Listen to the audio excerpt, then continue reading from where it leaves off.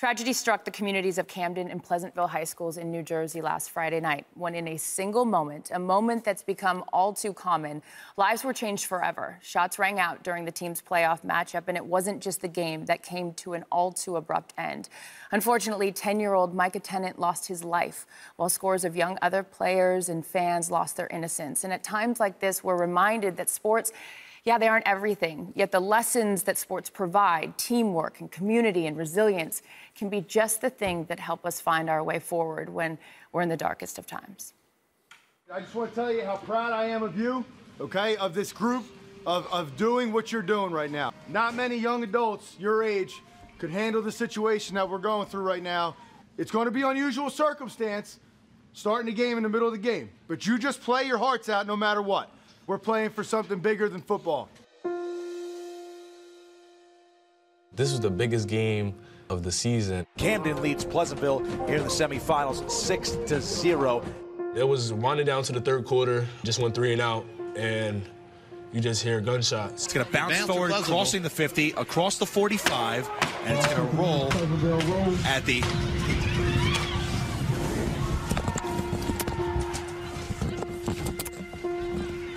But when I heard the noise and I seen everybody running around, so just ran and took cover.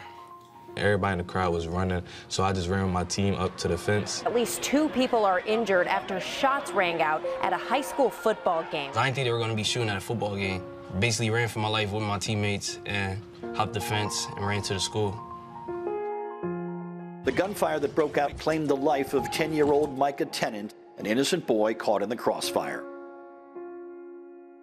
It was it was a tragic moment. I'm sorry for the little boy. It, was a lot in one week, a whole lot.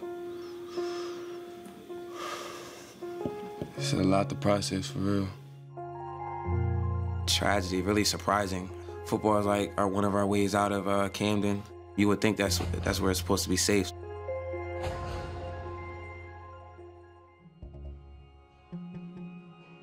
Seeing our kids come off the field on Friday night and just their faces and, you know, the, the worry and concern that they had, these kids deserve the opportunity to finish that game. You know, this game was definitely in doubt, and the Eagles organization reached out and, and offered uh, their field, which was huge. We always try to preach that inside the white lines, it's our safe haven, and Mr. Lurie stepped up and let us play at the Linc.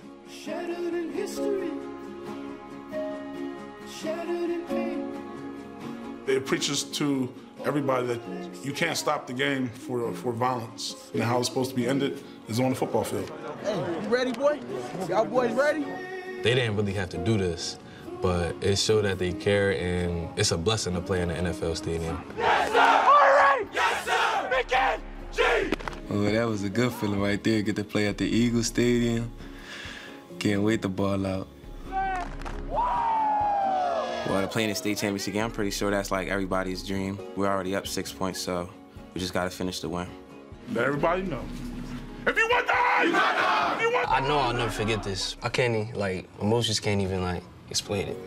Let's do this together tonight. We're just strong, like, together, mentally and physically. You give our city hope again. We're playing for something bigger, but there's still a lot at stake. Like, we're not just gonna give up. We're gonna keep pushing, keep doing what we gotta do to bring it all home.